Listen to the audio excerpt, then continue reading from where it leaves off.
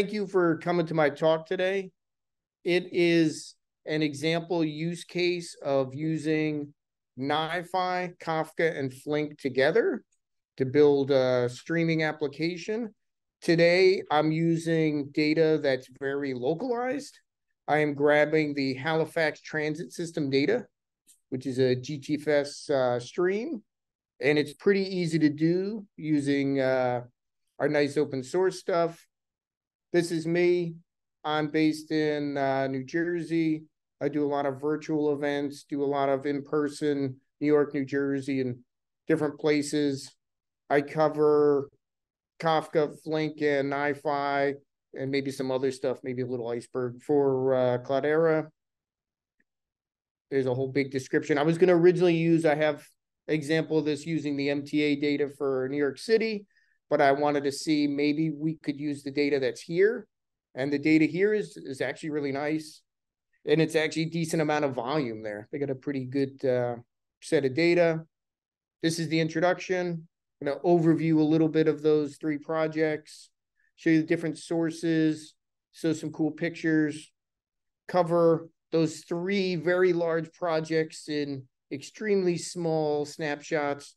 Instead, I'll show you them being used in a manner that requires low code, which is kind of nice. And we'll walk through demos. That'll probably be most of the talk is walking through the weird stuff that I'm doing, showing you some cats first. Uh, this is the link to the GitHub. I'll show you that as well, uh, just in uh, the regular GitHub. That's all my three talks I put there to make it easier. This is my skeleton with a giant taco. I like Halloween. Okay, so there's lots of different data out there, especially when you're trying to do any kind of thing with travel, as people may have traveled here lots of different ways planes, cars, trains, lots of different ways. Almost all of these forms of travel have data sources that are very often accessible. Uh, they span lots of different formats. They go from XML, JSON, RSS, GeoRSS, Protobuf. Protobuf is probably the biggest pain to work with, but not too bad. I have different demos and examples for all these data sources, including plain data. And you could ingest all these to figure out how you might want to go somewhere. Uh, more relevant for me in the New York area because I have a lot of options. I could take different trains, I could drive, could even fly between the little cities.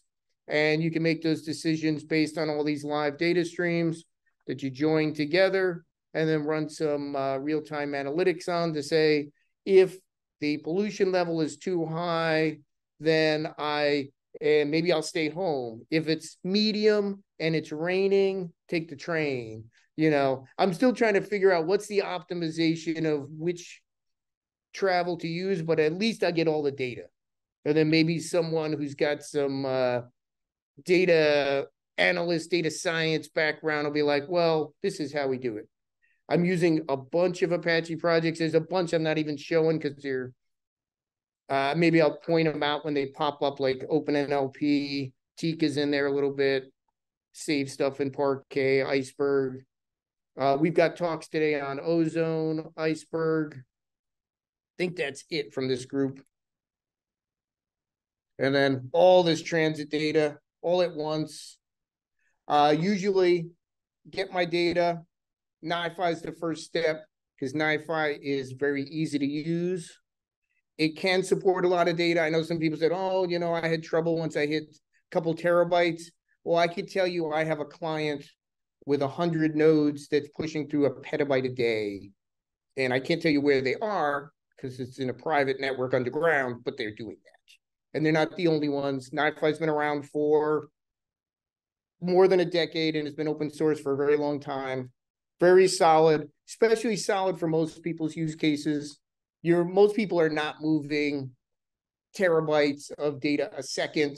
And if you are, you know you're going to have to get some good hardware uh, especially when you're getting it from weird sources. You're getting it from REST endpoints, or it's GTFS, or if it's move, off a moving brown truck.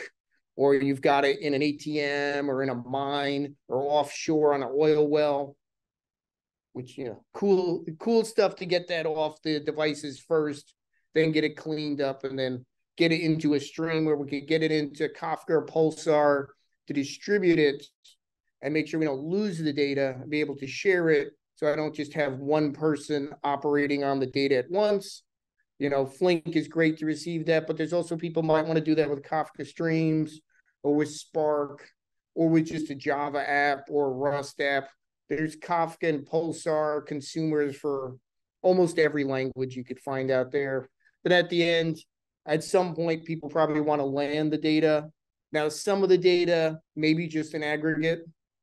There's decisions there, and obviously you can store data within your Kafka and Pulsar pipelines for extremely long time tiered storage being available in different implementations in different places.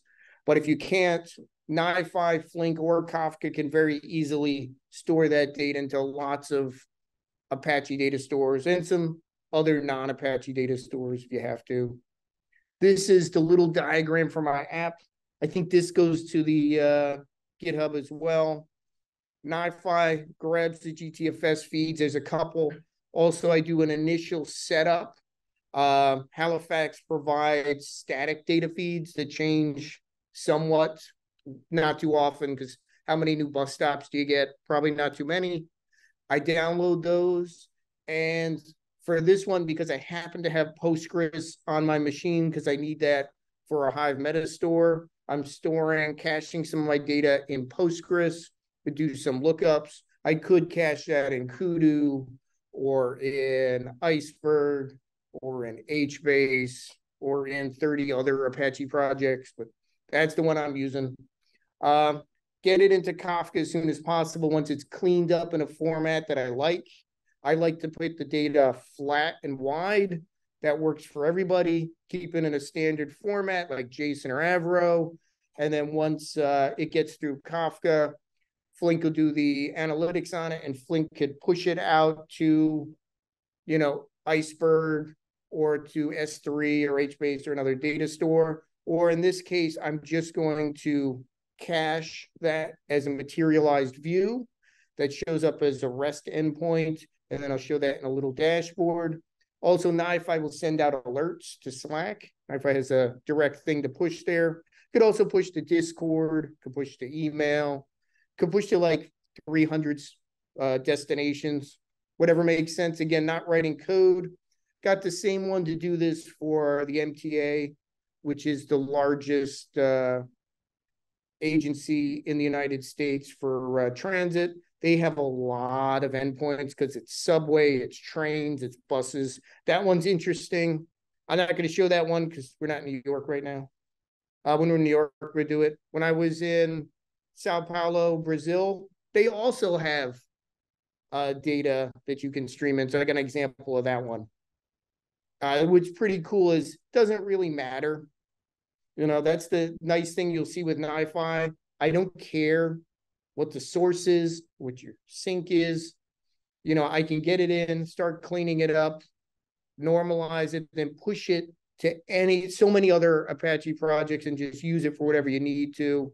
Uh, U.S. government has travel advisories. Again, helpful if I'm going to travel. Maybe they tell me don't go to this country. They don't like NiFi, and I'm like, oh, don't go there. So I won't go there. Uh, so I want that data. That data is RSS feed. Kind of weird the way they encode it. I also use their travel data to uh, send it to an LLM to get a summarization of that. I won't show you that one because that's not open source yet, fortunately. Uh, air quality, there's a couple of open source, freely available air quality ones, as well as some sensors I have. But uh, I didn't bring all that because I was on a little propeller plane to get here. Maybe uh, maybe in uh, Slovakia I'll bring that. I don't know if that'll make that through customs. I don't know. Uh, so Kafka, there's some Kafka experts in the room. Uh, so I'm not going to go too deep into it other than saying I'm using Kafka. I could use Pulsar, swap them out pretty easily. Really, the idea is I want to get data as quickly as possible into a place where it's not going to get lost and I'll keep it in order and then I can distribute it to other people. So if I go offline, like I'm doing something remote, I have that somewhere and that could be distributed, that could be geo replicated to other people. It's it's in a safe hands to be distributed elsewhere. So that's my first goal. Get data in a cleanable format, send that out to somebody, because then it can be used in Spark, it could be used in Flink, it could be used in a ton of different projects. That's a great way to distribute it. That's the separation of concerns for me is NiFi just gets it started, get it into Kafka. And then if you decide to write a Kafka Connect app or Streams or Flink, you have a lot of options. I like Flink. It's pretty cool. It also lets me create tables very easily. Now, in some third party tools, it'll do this automatically for you. But if you have to do it manually, still pretty easy. And I don't know why we haven't put it into regular Flink to be able to look at a schema or look at a JSON document and create these tables. I might write that. I might write that in NiFi to produce the Flink table. Because uh, NiFi can give me all those fields because it knows what they are and what type they are. And you could create it. What's nice here is pretty easy to do. Looks like a regular table. Again, that uses Apache Calcite, uses it in NiFi, we use it in Flink. Calcite's used in a lot of places. It is a undervalued project, which is very awesome. But uh, you set up what you want here, and then we're ready to have a table that acts as if it's uh, just a table. So, which is great. Again, don't have to write much code. I'm just writing some SQL. I know SQL is code, but it's not the code that people are using to write uh, Ozone and HBase and some of these really complex projects. You can write pretty simple code that does some complex things, and it's the same SQL you've seen before. NiFi's on the shirt. NiFi is probably my favorite project because it's made my life so much easier. Previously, when I was at working at Pivotal and Spring, wrote everything in Java. Every single, every time you want to load a table, write another Spring object. That certainly works, but I think most people's time is more valuable than reading from a table and like, oh, it's these seven fields. Oh, now it's these nine fields. And then it changes. Now you recompile and I redeploy it. Well, with NiFi, doesn't does changes it, doesn't change any code. I don't have to write any Java. I don't care what your fields are. I could use a established schema. I could use uh, any of the open source schema registries. I could use Confluent, uh, Hortonworks, uh, I could use a built-in one in NiFi, or I could just let it examine the data and give me a schema. If we have standardized JSON, Avro, or other formats, it'll figure it out for us. Within NiFi, this is a pluggable architecture. So if there's some kind of reader or writer you're missing, it's very easy to write those, get them committed to the uh, open source project, or you know, put in your own open source if it's very particular to you. So I can read all these formats and not have to know what the fields are, what their types are. And if it changes, doesn't matter, dynamically figures that out. Very nice. So I could do Grok log files, Windows events, JSON, for a ton of formats, and then write out a bunch of different formats very easily.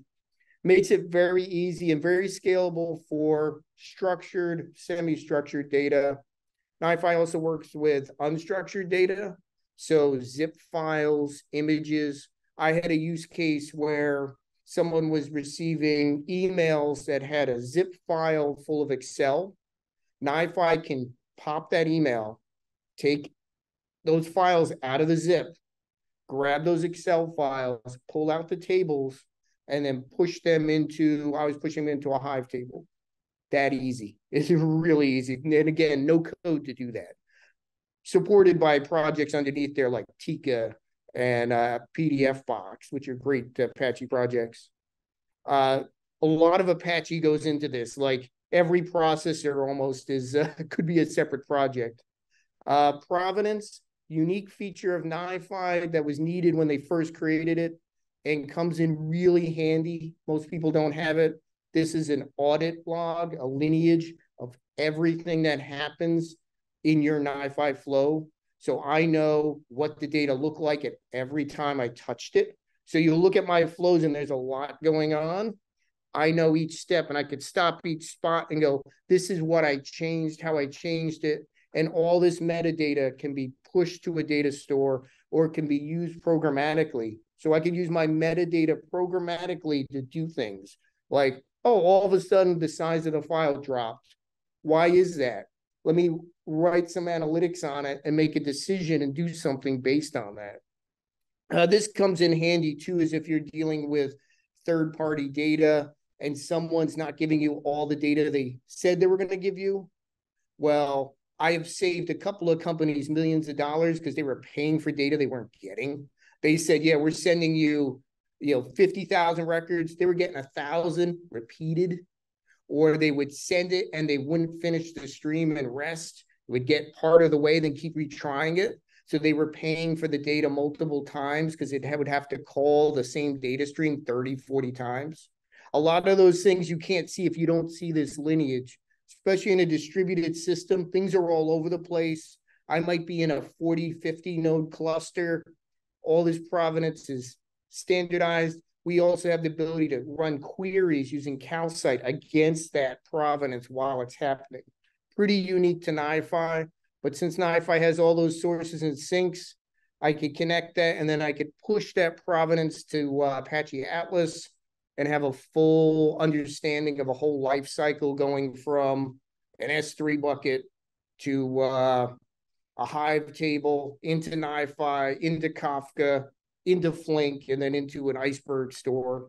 We just adding support for Python, as a lot of data scientists want to do that. I can call it now as an Excel, as a call to a script, but this is a native component so you could write a component in Python, could be LLM, any kind of, use any library, and we'll add that as a native component. So that'll just be part of my flow in NiFi. Really nice uh, thing there. I've got links to stuff I'm doing, but let's let's get to uh, running code. Let me get this out of here. Okay, fun stuff. Okay, so we'll start off at the beginning uh, show you with the GitHub. So I wanted to grab the data from transit systems. And I'm like, well, let's see, does Halifax have one? Didn't know. They have one. So the first thing I do with any kind of data is like, okay, what endpoints do you have? Do you have free data somewhere? Do you have streaming data? What do you have? First thing I found was static data. So they have a zip file full of GTFS data. Okay, now if I can download that. So I could just run things on demand and we'll see how fast the network here is. And then the second step is I decompress it. Can't hit escape.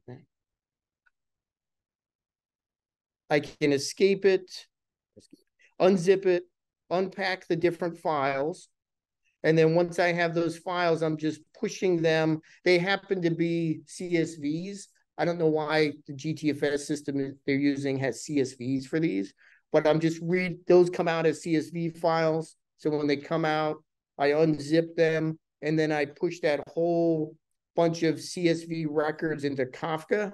The NiFi Kafka uh, producer will take 50, 100,000 records at a time and push them through they'll be, you know, broken up into individual Kafka records once they get to Kafka. But here I'll just create the name of the topic on the on the fly because those are all different lookup tables. So when that's finished, escape. Escape is a very important part of NiFi. Makes that tough. So I just send all those different ones to uh, Kafka. So if I go to Kafka I've loaded these. I've got a lot of these lookup tables, like agency. Ooh, are they empty? Maybe I'm out of data. Maybe I should reload them. Let's see. Oh, okay. Well, let's reload them. Okay. I may have dumped those tables. So since I started loading this anyway, let's continue the process here and push those to uh, Kafka. Ooh, did I change my I did, this is the provenance. I forgot to change my IP address to push to the right uh, Kafka. That is my bad. Let's see, do people know the uh, IP in here? Yeah, this is the fun part, doing this live. 10, here we go. Fun to change IPs on the fly.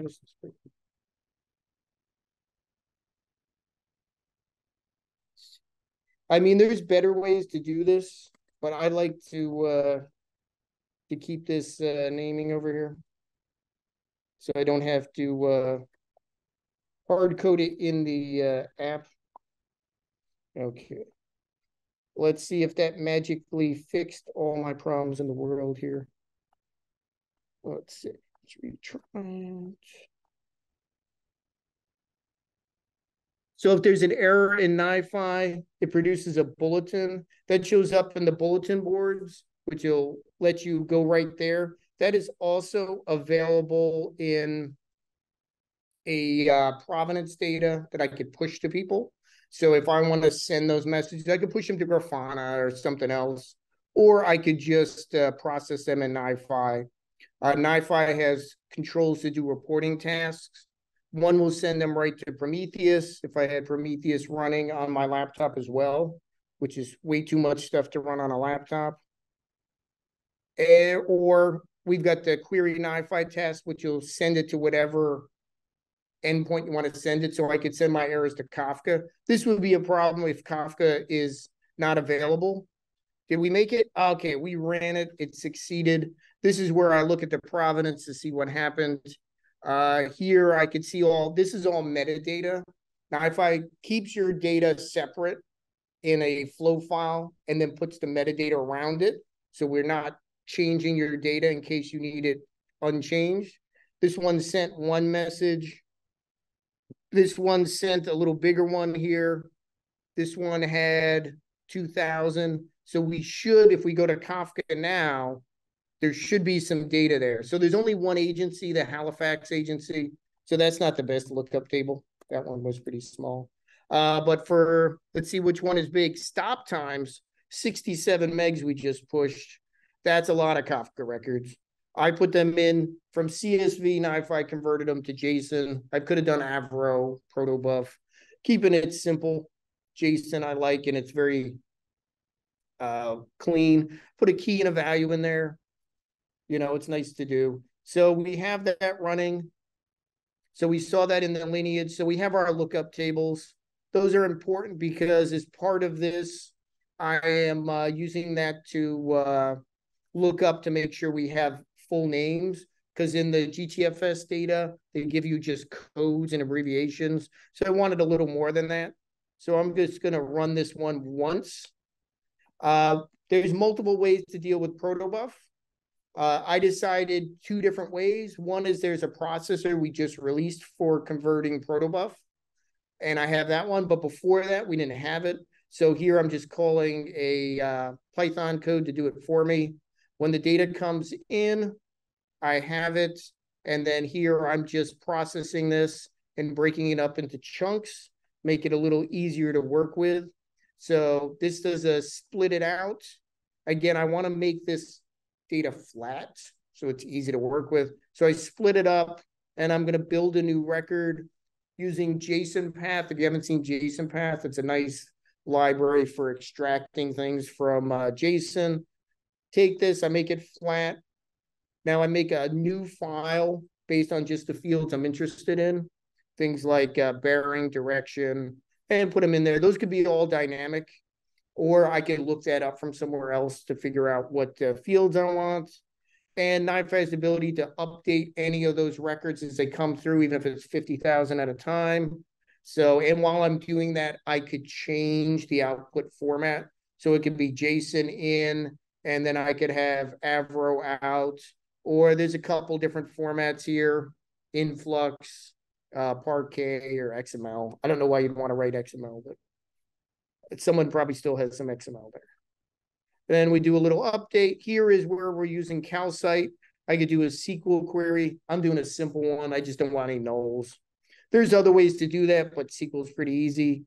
Here I'm doing a lookup against Postgres so that I can uh, change the route and give it the route name. So when the data comes out, I, it looks a little better to me since I wanted it flat anyway, a little wider data. So I looked up the route name from the route ID, which is pretty easy. I don't have it run. I could run, yeah, we'll run it. We'll look at the Postgres team. If someone has a better Apache table, I could use that instead. But I have those tables in here. And it's pretty easy to update these. Again, as you saw, I did not write any, uh, there's no code to create these tables. NiFi built these for me and automatically put the fields in the right location, which is nice. As long as they're named similarly, or even if the case is different, you can make that decision if you wanted to push to uh, the right ones. What's nice is here is with lookups, there's lots of ways to do it. And this will look at anything that's semi-structured data and look it up I'm doing the lookup with uh, Postgres here, where it's just uh, connecting to a connection pool, looking at a table and matching a column in my data that's coming in and getting a data out. But there's a lot of different uh, lookups. Uh, there's ones from any JDBC store, but there's also I can look up from Elastic, I can look up from HBase, from IPs, Kudu, Mongo, and obviously, if you want to write your own, you can write your own. I'm going to push this data to Kafka topics dynamically based on which name I'm passing in as an attribute. So if I need to send it to a new topic, I could dynamically do that. And this just sends those, there was only 90 there. Here I'm pushing to Slack. All you need to do is connect it by building a app in Slack which most companies won't let you do. But if you have your own Slack channel like I do, you can. And here I could just grab any attributes from the data, format that as a Slack record, and send it out. So this is a nice way to have a UI for streaming. It's just sending Slack messages out. And this is different positions. Uh, I've got a lot of different ones. And it'll just send more based on what data it is. I put a little timeout in there. I found out if I send a hundred thousand Slack messages to Slack at once, they don't like that. There's some things you don't realize because it's very fast for me. You want to think about that when you push data to things like Slack or any place that takes images that they don't like things coming in batches of a thousand. So you might have to put a delay in there. The nice thing with NiFi is it has the ability to run as an event, but it also has the ability to schedule or delay. So I put a little delay on there. 10 seconds tends to be enough that they don't get too mad at me for sending uh, thousands of records there. If it was uh, more than that, yeah, then you get in trouble. So pretty easy lookups against Postgres or anywhere. There's a lot of other sources of uh, streams they have for their system. I'll show you one that's slightly different is the uh, this one I'm going to use the version with the convert protobuf, which is really easy processor. Points to a directory where you put your proto definitions, give it the name of the message you want it to come out as, and it comes out that way. Pretty straightforward. Again, we can look at the provenance to see if it's come through, get an idea what the data looks like. This is pretty big. There's a lot of records here. There's a meg of records. I'm not going to show that because of JSON's a really big uh, screen there. But I will show you what happens when we push that data through the system. Again, different steps do different parts of it. The data coming out of protobuf is very hierarchical. So to make it flat is a little bit of work. That's why there's a lot of steps. I'm pulling out these things. I want them as flat as possible because I want a wide record, which is nice for Iceberg and HBase and Kafka and everybody. I don't want these nested things that you got to do weird queries to get the data out of. So I'm pushing that data. Again, I said we're pushing it all to Kafka after doing some lookups here. Well, let me make sure I'm pushing all of this.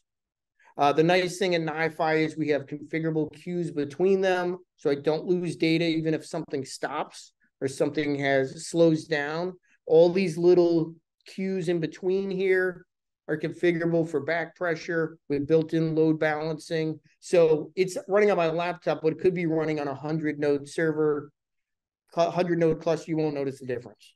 The only way you know it's different is if you decide somewhere that things should only be pushed by a single node on the primary node, you can do that. Sometimes you need to do that if you're pulling from a file or pushing to a file where it's not like S3 or something that can handle, you know, concurrency of uh, access. So we're pushing that in there. Then I go into Flink. Let me restart my Flink job here and make sure we pushed into the vehicle positions. This is alerts. Let's find positions. There's a lot of data here. Uh, nice thing is if I don't know where something is, I could do a search. Oh, satellites. That's a good talk. Um, Let's vehicle. It's also nice if you run an environment that's not your uh, development environment where you have thousands of examples. Brazil, when I look at Brazil data. Okay, I'm just going to do the easy way and go over here to where it's uh, positions. Didn't show this one. Uh, if if we get updates, I just pull them from Kafka and then update Postgres. That's one no code. Uh, did we go over far enough? We went over too far. Positions. Okay, let's run this one. So we get some uh some data. Make sure I don't have anything stopped here. That is the thing in NiFi. I can determine remotely if something is stopped in NiFi and remotely start and stop any processor, either with REST or an SDK, or with NiFi. NiFi can call NiFi to run NiFi, which is I got in trouble for that. You're not supposed to do more than three levels of NiFi. You get kicked out of places. Okay, so we got it coming into Kafka. Let's make sure we're getting vehicle positions here. And it could be any Kafka. It could be pure open source Kafka or from any of the vendors who run Kafka or Kafka compatible. There's KOP on Pulsar. There's some other vendors out there. So we got vehicle positions. Let's make sure this data looks recent. I don't see it showing up. Let's make sure it didn't stop somewhere. Is there not a lot of vehicles running because it's Sunday? It's probably not a lot of vehicles running on Sunday, which if anyone needs to take a bus later, you're not going to be happy. I can tell you during the week when it's not a holiday. Okay, there's some. Let's make sure we went to the uh we went to the send it to the right place here. Uh, let's see. What schema did we go to? All the metadata is there if you're willing to look for it. Topic Halifax. Oh, no space. Someone created too many uh, topics. I don't know who that is. Somebody. I, I think it was David. He wants me to use Pulsar instead. I'll use that for the next time. Okay, is this the right time? That's the right time. 1152. Okay, now we've got data. Oh, okay, now there's data. Data's in here. This is my Flink runner. You can run Flink SQL from the command line or put it inside a Java or Scala app and just deploy it. This is a little nicer way to do that. I've got my data coming back and here I've set up a materialized view and I have it set up to cache. So in case I don't get enough records to show, I could keep the old ones there. That's stored secretly in a Postgres database. Hopefully, they're going to move that to Iceberg, but you know that's not my job. Uh, so this is that's open source little bit of code that I have. Colon, uh, like you said, the leaflet JS, which is a great library, is calling. So I'm calling that, and it's it's simple enough for someone who knows no JavaScript to write. I just pasted this in. I make this call and I pass in the Latin long from the data. Here is the link to that REST endpoint. And then I do that again for the uh, jQuery tables, pass that in, format that to make my table. So down here, as I've, I've got a sortable table of the data we just pulled in. And what's nice is this is a great library. Thanks, David, for finding this one for uh let's see, where are we? We're near uh we're near the uh, fort, so we can see if we got any. Uh, there's a shopping center. Oh, there we are. Oh, there's a bus out front.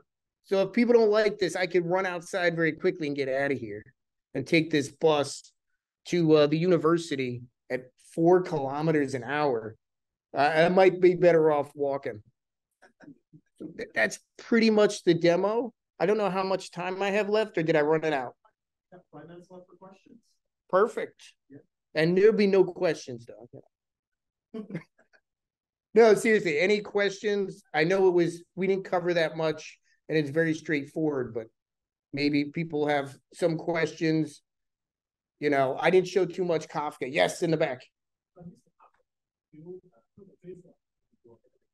How do I put JSON into a database?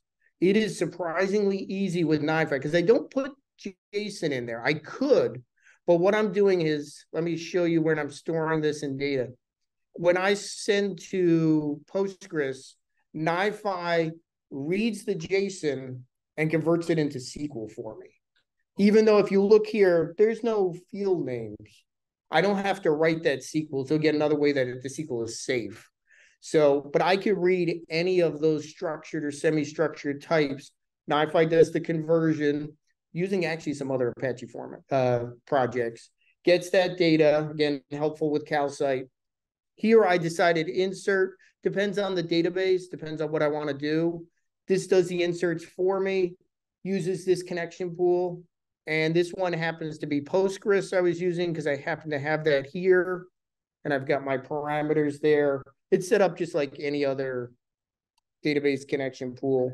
But I could do that with uh, any JDBC source, really. But we also have ones for Hive, Snowflake, uh, regular Hadoop, and a bunch of other ones. And again, if there's one missing, you can write it. I've successfully done Postgres, MySQL, DB2, Oracle, and what was the other one? Some other database. Who didn't give me any money, so.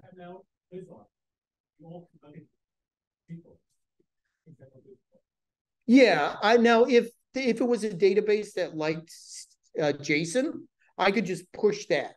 I have other processors that'll let me push to data stores that like to store JSON. Like when I send it to Mongo, it's going to be the native Mongo format. If I want to send uh, just JDBC, I could do uh, any kind of SQL and hand write the SQL. Obviously, that's not as safe and it doesn't do the auto conversion. But if you need to do that, you can do that. There's most connections you could do natively in NiFi. You don't have to write any code for it but databases are very easy. We also have some CDC, and we are adding Debezium, which I wish was an Apache project, to the Red Hat people in the room. Uh, uh, that's being added to NiFi, so we'll be able to take any Debezium source natively and have that come in, so you don't have to pull it through Flink or Kafka, which isn't a bad. I I don't know. I don't mind pulling it in from Flink for CDC or for Kafka. Both of those work with Debezium really nice and work for Oracle and DB2 and MySQL and Mongo and a ton of databases. So that's that's pretty nice, but it is coming to NiFi, so you'll have your choice. I'll try them all. I would think Flink is probably the most performant, but how fast is your tables changing? That's where you got to make that decision. If it changes a few thousand records a second, I'll do NiFi. If I've got my friends in China who are doing a billion record changes a second per table and have a hundred million tables, uh, they better do Flink. That's really well. Once you get to certain sizes, some you got to figure out where to move part of your workload. It's really usually isn't all in one place unless you're really small. If everything is really small, you know, uh, hundred thousand, a million events a second, maybe keep it in NiFi. Once you start getting big, Kafka and Flink and Pulsar are really have to come into the equation. Cool. I think we've got time for one more question. Yes. Uh, this was a really cool demo.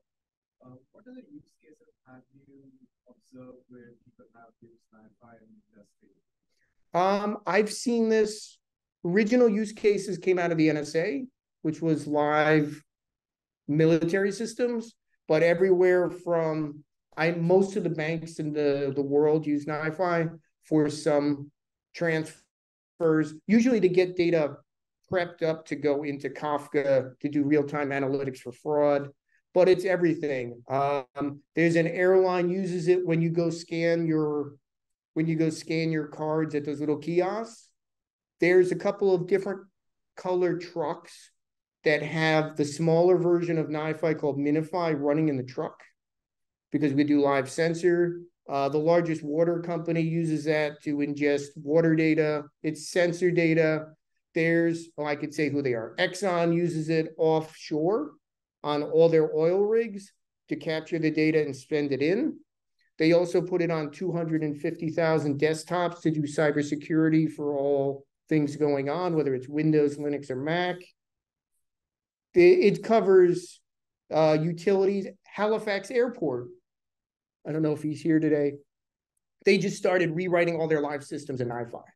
So any real-time things you see on the board are NiFi with some Kafka pushing stuff, tweeting stuff. Um, it, there's very few use cases. I use it to do a live jukebox. Uh, the, I have literally a thousand use cases because it's kind of a Swiss Army knife. Maybe it's not the perfect tool for everything, but it's a very good tool to get you started because you don't have to write any code. So, and I can experiment with any kind of data very easily, like grab some table off a log. Some people are using it to read all their mail, send it somewhere, send it to uh, machine learning. We're using it at Cloudera internally to feed our LLM models because I can read from every database, every file system, and not have to write code. And I could use uh, machine learning as part of that. I could write any of my own processors in Java or Scala or Groovy. It's very easy with very little code.